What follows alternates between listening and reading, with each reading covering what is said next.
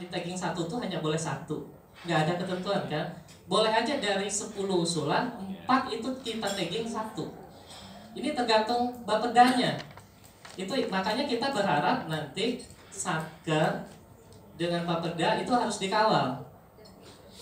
Kita di di tingkat kementerian juga udah ber- mencoba istilahnya mensinkronkan menyamakan menyandingkan menu yang ada di Krishna sama menu yang ada di PBE Kenapa PBE kita mundur? Harusnya kan PBE itu biasanya tutupnya di, di 31 Maret ya. Sekarang kita mundur ke 30 April.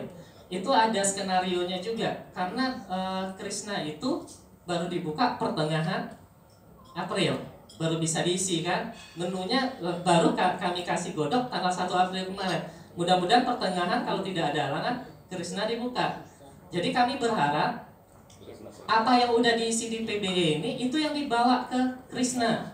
Itu yang diinput di Krishna. Jangan keluar lagi dari sana gitu. Pasti ketika des itu jadi masalah. Ini nggak ada di sini ini nggak ada pasti dicoret sama tim desnya. Kalau yang cash pasti dia berpedoman ke PBE kalau nggak ada di PBE udah habis coret. Karena kami kemarin untuk eh, BPK sempat meriksa, memeriksa kami satu setengah bulan ya berapa itu terkait yang DAK 2018 17 ya. Itu sudah mengingatkan kita dikejar di sana. Ini nggak ada usulannya di PBE kenapa dikasih duit? Apa alasannya? Dia nggak nggak bertanya Krishna. Tapi PBE yang dikejar karena di PBE itu rinci. Itu yang persoalannya. Makanya kami wanti-wanti usulan harus ada di PBE kalau nggak ada di PBE dah kita coret karena kita juga mengamankan yang kitanya dari yang case-nya unit utamanya. Itu yang kita eh, tekankan. Makanya tadi saya sampaikan ketika kita buat usul usulan itu eh, hati-hati. Kita harus koordinasi dengan bapedanya ter- terkait taggingan itu harus diperhatikan. Terkait prioritas. Kalau nggak butuh nggak memang kebutuhannya nggak di life saving lagi itu udah terpenuhi semua ya monggo. Ambil yang di bawahnya itu jadi prioritas pertamanya itu jadi jangan ngajukan hal-hal yang udah kita punya diajukan lagi itu nanti diakomodir lagi sama yang case-nya diprotes lagi. Kok kami nggak nggak nggak butuh itu dikasih itu. Itu yang harus di, diperhatikan. Oke kita lanjut. Ini dokumen yang harus dilengkapi hampir sama dengan tahun yang lalu. Silakan dibaca saja. Penandatanganan mas. Apa yang kita dapat kemarin di Makassar tinggal sumber pusat oh mbak Eva ya? Ya, Hah? katanya untuk awal ini ba- kepala satker aja. Hmm. belum belum kepala daerah kepala satker aja. Karena belum pagu kan kita belum baru usulan baru usulan. Nanti kalau udah udah ini baru tanda tangan kepala daerahnya. Oke kita lanjut. Ini PPT-nya PPT-nya hampir sama dengan yang tahun yang lalu ini portal perencanaan cuman ada tambahan kemarin Senin kemarin ada yang nongol baru lagi SIM Bara. Bara Sembara. Sembara. Simbara ini masalahnya eh, ya kita penuhi saja eh, ini ini dari bagian karena ini dikejar-kejar juga eh, ada tuntutan untuk harus diisi juga karena kalau tidak diisi eh, hibahnya nggak dilaksanakan itu bisa Kemenkes bisa disclaimer bisa jadi ini tukin-tukinnya jadi jadi harus eh, kita mohon eh, kerjasamanya juga dengan daerah mem- membantu yang dapat dana TP dan sebagainya dulu itu terkait hibahnya eh, bisa diselesaikan dengan segera gitu. Intinya di sana sebenarnya ini pengguna portal perencanaan terintegrasi PPT ada rumah sakit vertikal.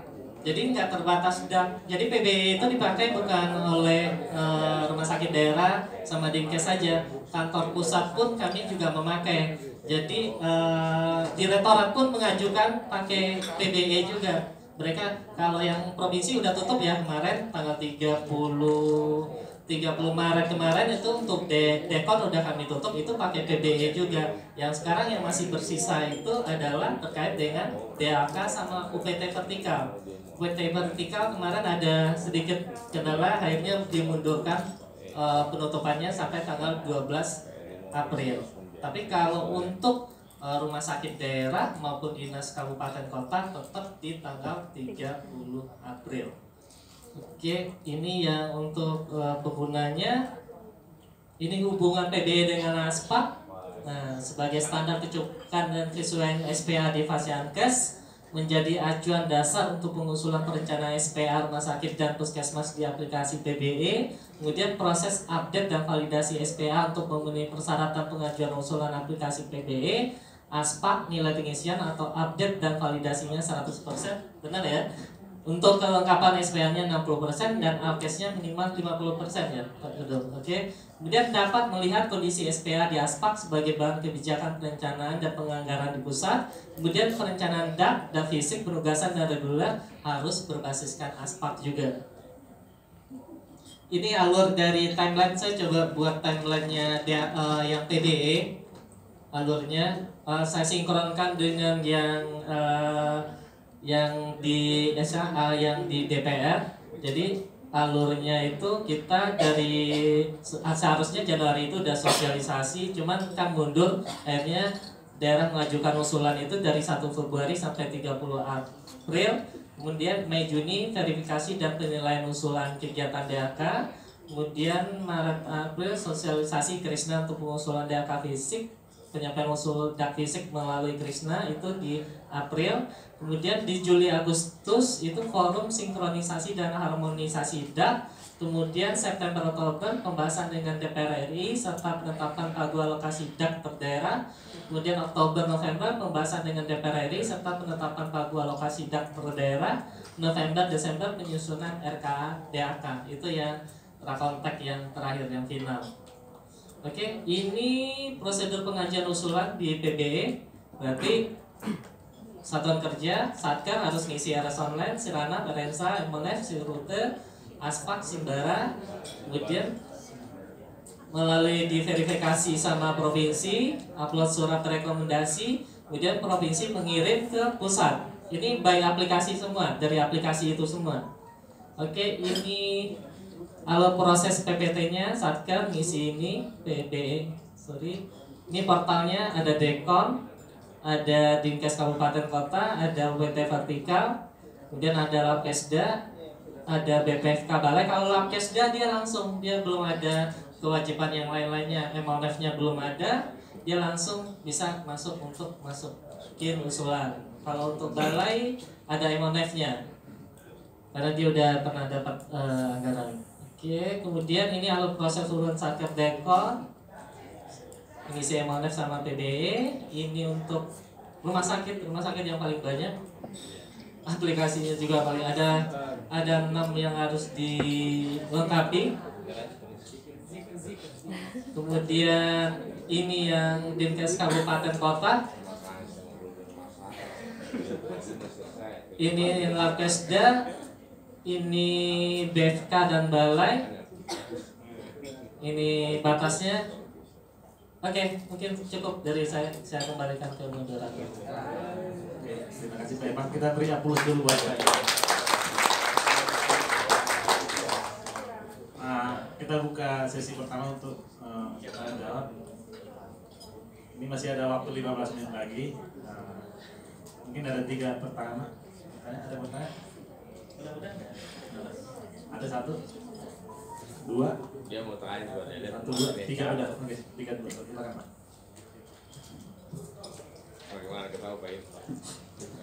Assalamualaikum warahmatullahi wabarakatuh. Ya, perkenalkan nama saya Rozi Jaya dari Rumah Sakit Kota Bengkulu, Pak. E, terkait PPE, Pak ya, yang begitu banyak aplikasi-aplikasi, Pak. Yang terbaru ini Simbara, ya ntar lagi.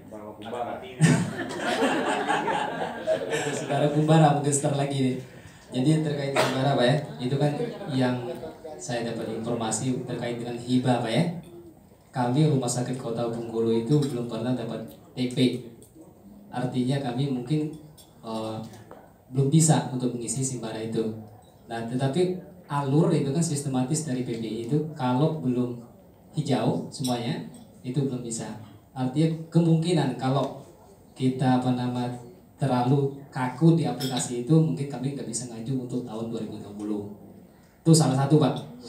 Eh, yang kedua, menurut informasi yang dari narasumber sebelumnya dan juga tadi bapak sampaikan bahwa Krishna itu baru kebuka portalnya di 15 April. Artinya kami mempunyai waktu hanya 15 hari untuk pengajuan PBE. Sementara si Ranap, si Srut, si Srut kami aja Pak, yang tambah lagi Simbara tadi, kami belum belum ini belum hijau Pak. Itu maksud saya menjadi pertimbangan bagi pemerintah pusat dalam hal ini supaya kami di daerah ini belum lagi kendala kami masing-masing daerah berbeda Pak apa namanya dengan online online ini yang tadi sudah dibilang oleh Pak Direktur online online itu mungkin di daerah tertentu onlinenya sinyal dibawa oleh Pak Wiranto kalau ke sana tadi. Gitu. Pulang gitu. iya. Kalau nggak ada Pak Wiranto nggak ada sinyal gitu. Eh, yang terakhir Pak tadi terkait dengan skala prioritas usulan itu live shipping Pak ya. Ada ICU, I- IGD, PICU, DICU dan kamar operasi. Itu hanya untuk gedung atau pengisian alkes ya Pak. Yang ingin saya tanyakan karena di terakhir tadi ada alkes yang canggih. Ya jadi saya pengen tanya itu apa untuk gedungnya atau alkes. Kalau untuk gedung saya lanjutkan Pak. Kalau untuk gedung kami punya gedung ex DPR Pak ya. Itu kami pengen menjadikan ruang ICU, ICU dan kamar operasi. Sementara gedung DPR itu tidak memenuhi standar daripada rumah sakit. Kami mau rehab gedung itu. Kalau mau bangun gedung yang lama, sayang sekali kayak gedung itu masih bagus. Jadi saya mohon uh, penjelasan dari Bapak. Terima kasih. Wassalamualaikum warahmatullahi wabarakatuh. Oke, tadi? Ibu, datang. Terima kasih dari Rumah Sakit Pengutiku Kabupaten Toraja Utara Sulawesi Selatan terkait dengan eh, PBE. Eh, di sini dikatakan bahwa PBE itu sudah terintegrasi dengan ASPAK. Jadi eh, apabila ada eh, usulan dari eh, yang kita input di PBE kemudian eh, harus terintegrasi dari ASPAK kemungkinan ada beberapa yang eh, tidak bisa diinput lagi ya sesuai dengan eh, yang kita usulkan dari rumah sakit. Misalnya seperti ini, eh, untuk sarana dan prasarana di ASPA kan kita sudah isi, misalnya ketersediaan eh, gizi, instalasi gizi. Padahal sebenarnya eh, usulan dari rumah sakit kami mau di eh, renov atau di rehab. Apakah masih memungkinkan untuk di input dalam PBE? Sekian dan terima kasih. Satu lagi, Pak. Silakan.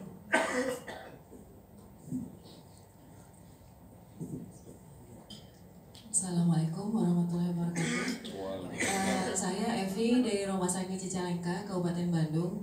Eh, yang ingin saya tanyakan terkait usulan untuk akreditasi rumah sakit. Eh, pengalaman kami dua tahun yang lalu, eh, kami rumah sakit baru masih tipe C dan eh, masih baru. Waktu itu kami mendapatkan proksus dari provinsi tahun 2016. Nah, untuk persiapan menghadapi eh, akreditasi selanjutnya yang eh, ini kami mengajukan di eh, DAK. Sehingga kami dapat waktu itu 350 juta. Eh, pada saat eh, akan kita realisasikan kami mendapat telepon dari kemen- kementerian bahwa salah sasaran karena kami sudah terakre- terakreditasi proksus sehingga tidak bisa diserap akhirnya kami tidak bisa menyerap padahal bagaimana kita ketahui bersama akreditasi itu banyak sekali yang harus kita siapkan terutama kalau misalkan dari DAK kita bisa mengalokasikan untuk apa eh, in-house training atau untuk eh, apa pelatihan-pelatihan kan bisa membantu gitu. Walaupun eh, mungkin eh, pe- apa istilahnya penilaian akreditasi masih tahun depannya itu yang ingin saya tanyakan apakah diperbolehkan apabila kami ingin mengajukan usulan akreditasi sekalipun tahun itu kami tidak eh, dalam eh, agenda untuk dinilai tapi hanya untuk persiapan menghadapi ya untuk persiapan pemenuhan akreditasi terima kasih eh, terima kasih Bapak Ibu. Eh, ini ada tiga pertanyaan. Yang pertama dari Kota Bengkulu yaitu terkait dengan Simbara tadi ya. Eh, Simbara. Terus Info Krisna akan berakhir dengan tang eh Info Krisna tanggal 15 April. Karena masih banyak aplikasi yang harus diisi gitu Pak ya. Nah, terus eh, berikutnya itu eh, skala prioritas. Apakah terhadap gedung yang tadi IGD dan lain-lain. Oke. Yang kedua dari Ibu Rektor aja Ibu ya. Ibu Rektor aja itu masalah PBE terintegrasi dengan aspal. Yang ketiga dari Rumah Sakit Cicalengka usulan akreditasi. Oke silakan.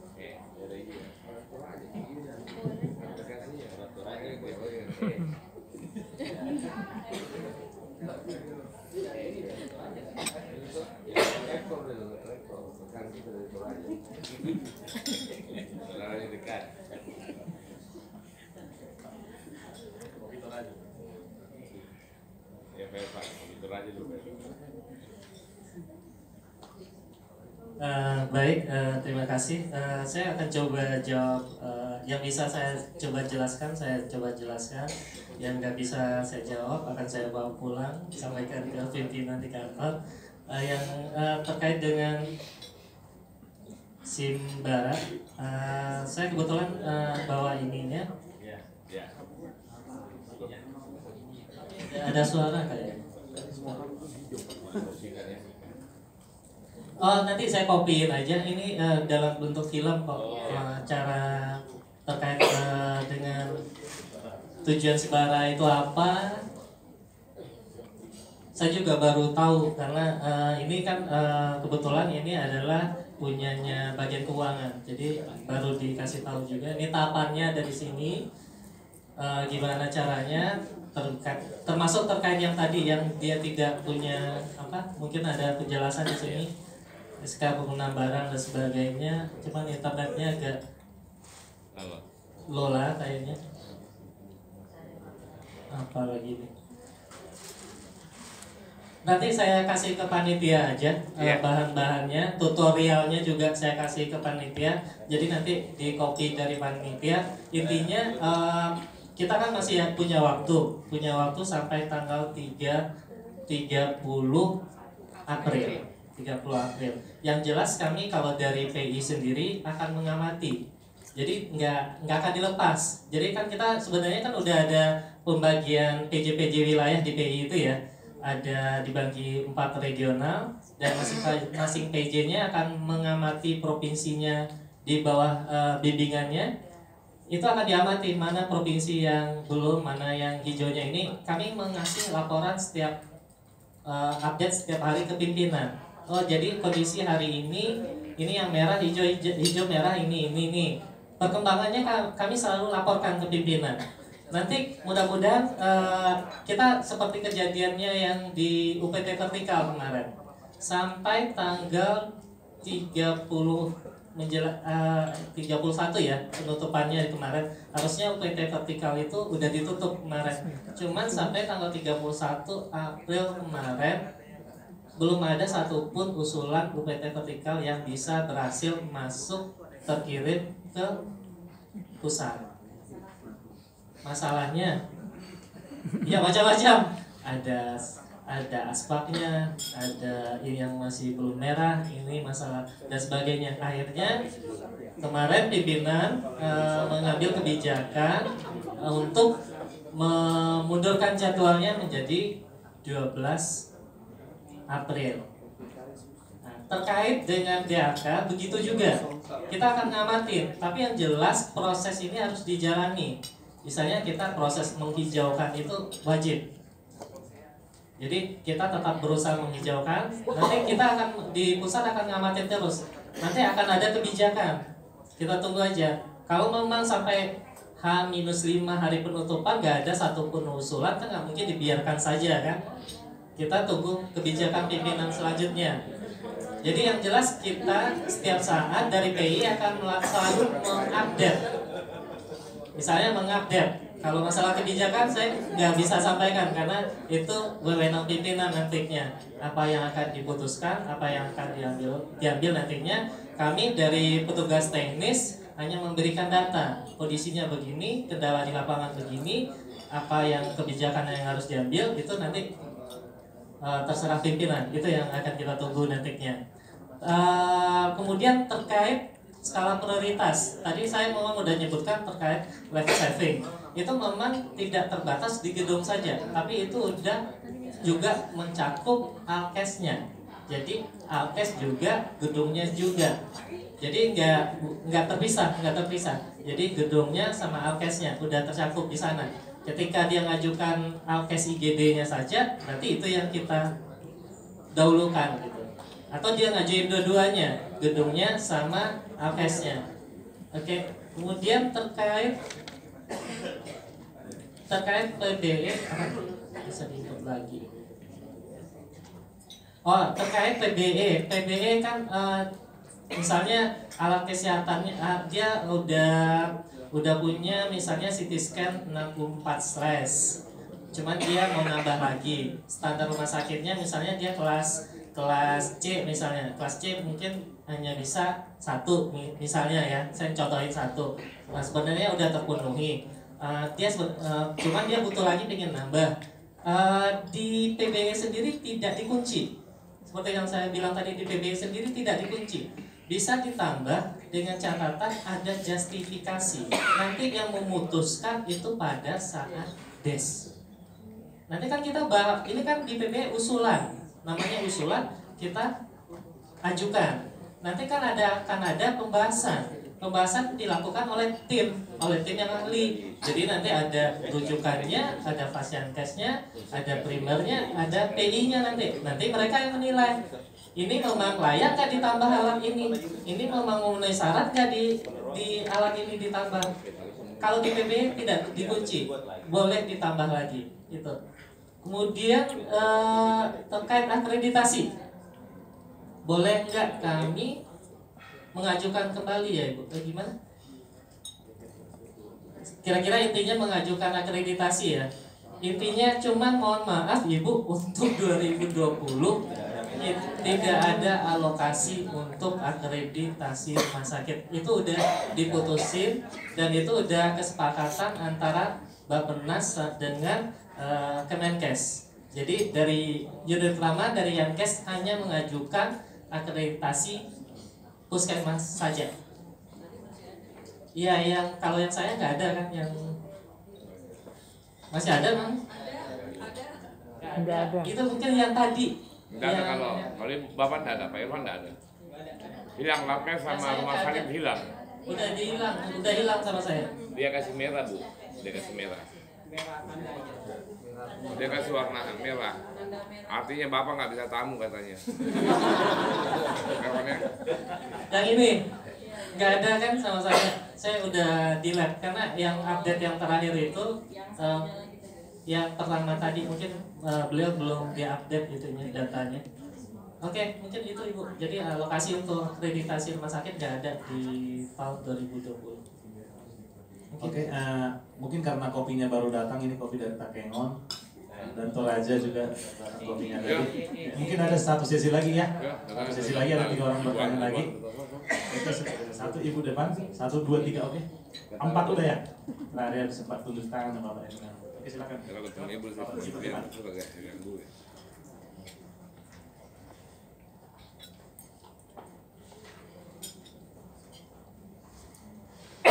Assalamualaikum warahmatullahi wabarakatuh.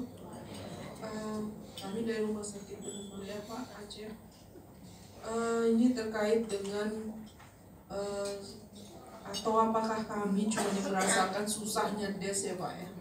Eh, sampai dengan jam satu malam belum kelar-kelar. Eh, bagaimana ke depannya kita Pak eh, di unit utama di atau unit-unit mana ada kalau nggak salah empat meja ya harus kita buat jalani. Eh, waktu di situ baru kami tahu data itu harus ada gitu Pak. Jadi mungkin di tahun-tahun kita kita des nanti bahan yang harus kami bawa itu soalnya gini nih terkait eh, dokter yang lagi sekolah oh baru di situ kami tahu gitu pak harus keluar lagi gitu, Pak, ya. mungkin eh, ke depannya bagaimana unit-unit yang eh, ada beberapa meja itu apa pun data yang eh, diperiksa waktu kami des kami sudah tahu gitu pak. Kami sudah tahu duluan.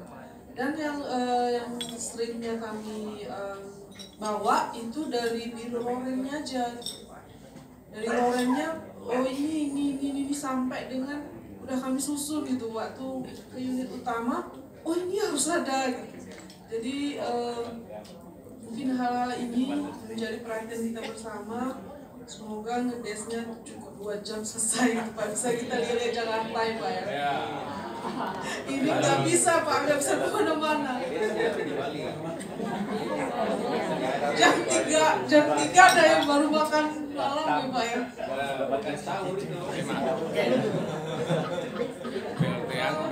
kemudian pak kami baru tahu berarti di verifikasinya di unit utama ya pak ya. Bukan di Kemenku pak. Eh, untuk selanjutnya mungkin eh, kami ini kan eh, kriteria rumah sakit khusus pak. Ada kekhususan di 63 rumah sakit ini untuk tahun depan pak. Itu harapan kami. Terima kasih. Assalamualaikum warahmatullahi wabarakatuh Oke, silakan. Eh, silakan. Siapa lagi tadi yang di belakang ibu? Oke, silakan Pak. Pak, mohon maaf, dikasih mic-nya. Oke, belakangnya silakan. Baik, Bismillahirrahmanirrahim. Assalamualaikum warahmatullahi wabarakatuh. Rupanya makin malam makin hot ya. Alhamdulillah. Tadi saya sempat liar-liar Pak, tapi setelah lihat wajah Pak Irfan, saya semangat lagi. Gitu. Karena ada satu kata-kata di yang masih terngiang dalam pikiran saya, jadi dan berfungsi. Begitu cerita. Jadi saya masih ingat itu Pak. Dan ternyata yang terjadi adalah surat penempatan surat dari keputusan Menteri Kesehatan tentang lokus pembagian itu kan baru jadi di tiga hari yang lalu ya. Jadi BPKAD kami kan belum mau memasukkan dalam DPA. Padahal sudah dikasih tahu standarnya dari peraturan presiden sudah ada, baik peraturan pemerintah ada, tetap tidak bisa. Dan kami alhamdulillah dapat bangunan itu ceritanya. Nah itu insya Allah selesai ya, insya Allah kita berusaha. Nah yang jadi pertanyaan saya untuk PBE ini Pak ada yang namanya si silang apa dia? Sistrute. Tapi ternyata kalau untuk yang kelas C dan D itu yang cukup verifikasi katanya kan dinas kesehatan kabupaten kota. Artinya nah, terus ada lagi anggapan provinsi juga yang dari dinas kesehatan setempat menganggap provinsi lagi. Jadi saling tidak matching ceritanya. Nah saling menunggu. Padahal sudah tanggal berapa? 4 April eh 7 April. Ah, 9 nah ini yang kami takutkan. Dia mau melakukan sosialisasi di pertengahan ini untuk sisrutenya nah ini mohon paling tidak ada push ya percepatan dari Kementerian Kesehatan sendiri bagaimana sih keberadaan aplikasi yang memang harus verifikasi bertahap tadi yang pertama yang kedua adalah untuk eh, PBI sendiri Pak kalau saya melihat bahwa kita kita ingin anggaran tepat, efektif dan efisien. Terlalu banyaknya aplikasi membuat kami itu pada saat di des itu kayak H2C ya. Harap-harap cemas. Tapi yang saya herankan teman-teman para senior kami yang memverifikasi kami itu semangatnya tetap gak turun-turun gitu. Itu yang saya ingin bertanya mungkin bukan guyon bukan apa. Kita kan H2C Bu ya. Eh kita udah udah udah belum belum ulang lagi kayak ikan pinggang kita jenis di sini ya. Tapi luar biasa teman-teman para sahabat kami yang verifikasi itu ternyata semangatnya nggak turun-turun bahkan sampai kacamata tuh kacamata turun di hidung itu loh. Tetap semangat gitu mungkin pak jadi rahasianya ya pak ya. Padahal kami itu datang menunggu H2C waduh data apa aja ya data apa aja ya. Pas sampai di sana beliau-beliau tuh tetap semangat. Nah itu aja sih pak. Kasihan juga sih. Intinya adalah tolong diperbaiki sistemnya aja dalam pemverifikasian. Karena kan sudah kita udah disaring nih. Dari awal kayak saringan teh. Eh santan dulu gitu ya. Itu saringan teh sampai di meja verif- verifikasi kertas lakmus yang dipakai kan gitu lebih itu saya mungkin itu pak terima kasih wabillahi taufiq wal hidayah. wassalamualaikum warahmatullahi wabarakatuh Maaf tadi Pak, dari mana tadi? Rumah sakit mana? Batu. rumah sakit daerah pari- pariwisata pak batu pak tapi tidak masuk lokusnya Batu bukan batu. iya bukan lokusnya pak terima kasih Silakan Pak yang di belakang Pak.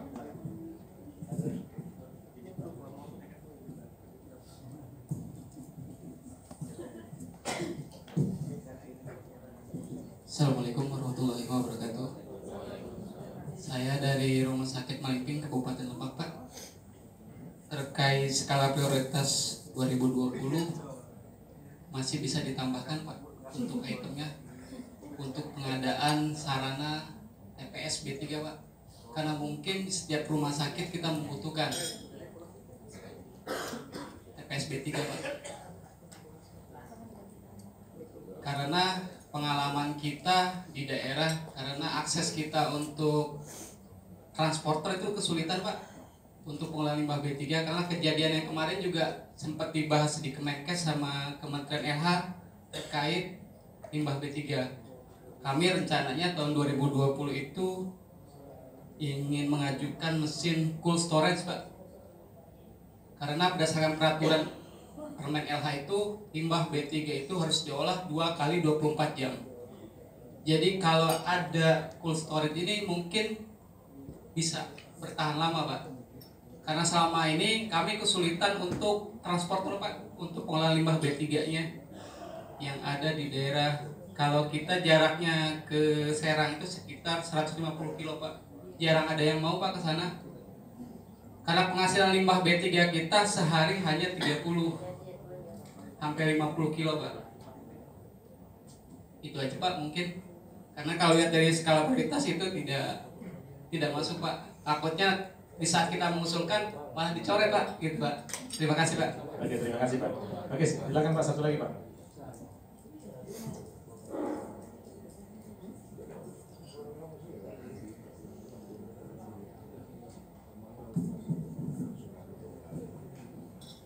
Assalamualaikum warahmatullahi wabarakatuh.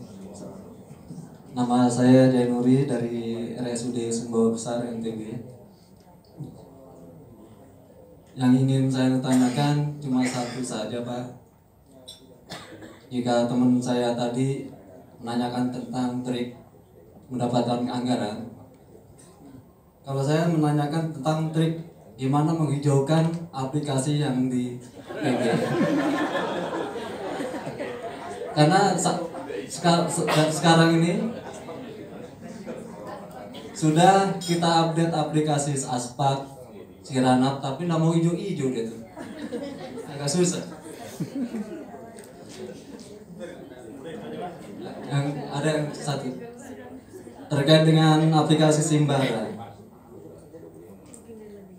Tahun 2016 itu ada pertemuan hibah BMN Rumah Sakit Sumbawa sudah mengajukan surat pengusulan hibah.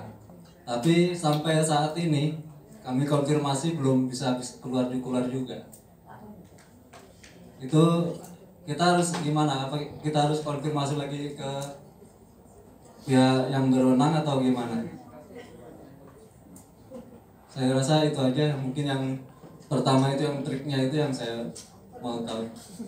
Assalamualaikum warahmatullahi wabarakatuh. Oke, terima kasih. Ada Pak Irfan ada empat pertanyaan itu. Yang pertama dari